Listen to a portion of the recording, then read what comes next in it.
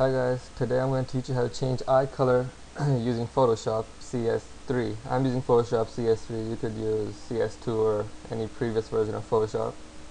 So first open Photoshop and choose a picture that you want to change the eye color of. Now I chose this picture off of Google and it's a pretty good picture to use as an example because her full eye is showing and that's what we really want. So each time you start using Photoshop, you should always push Control, hold Control, and push A, C, and V on your on your keyboard. This will make a new layer identical to the background. So you can work on this layer, but if you ever screw up, you can just delete the layer, and the background will be there as the original picture. So you could start all over again without really screwing the picture up itself. Okay, so now you have to zoom up on the eye. I'm pushing Control and Alt and scrolling my mouse wheel to zoom up on her eye and uh, it get pretty big on her eye. Okay, that's that's big enough. Okay, now there's two ways of approaching this. One is to use the magnetic lasso tool, which is right here. You just hold hold on hold down on that and uh, click magnetic lasso tool and now you could click anywhere on this eye and start moving your mouse around the eye and Photoshop will outline the eye for you.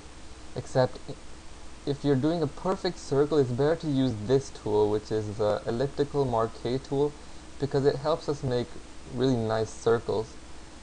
So I'm going to use this one for this video. So I'm going to make a circle just as big as her eye. And I'm doing this by estimate. Okay now I'm going to move this lens over her eye directly over it. Okay now to change the color go to image adjustments hue slash saturation right here.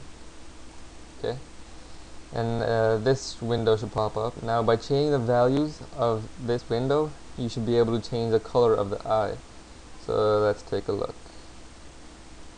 Mm, there we go you have a whole range of values so you could pretty much have any color you really want. Negative 180 and positive 180 seem to be the same so everything's in between that. Okay since it's a kind of scary picture I'm gonna use positive 180 saturation you could change these values too. And that's how saturated the colors are. Zero, negative 100 is totally no color at all so I'm gonna keep this to about say positive 51 uh, okay and lightness change the values. Well yeah, that's not very effective. Okay I think I'm just gonna keep my lightness to zero. Okay now you should write these values down because you want to do the same to the other eye and you want to have the exact same values because you want the exact same color for both eyes so I'm just going to memorize this. Top one's positive 180, positive 51, and 0. I'm going to click OK. I'm going to zoom out.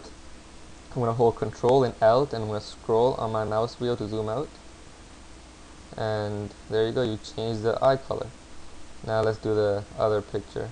I mean the other eye. Okay, and we'll do the same way we did the first eye. I'm going to use this tool again, draw a circle, and then move it directly over her eye. I like to use, uh, I like to leave a little bit of black around the eye, just for an outline. It makes the picture a lot more effective.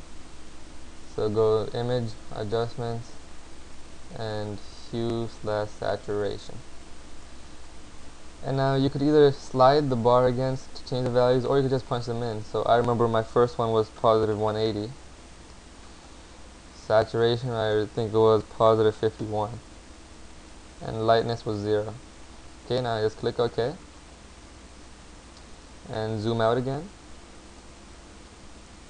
You successfully changed the eye color. And push Control D to deselect that and you change the eye color. Maybe I left a little bit too much of a black outline, but that's pretty much the basics. Thanks for watching, and please subscribe to my videos.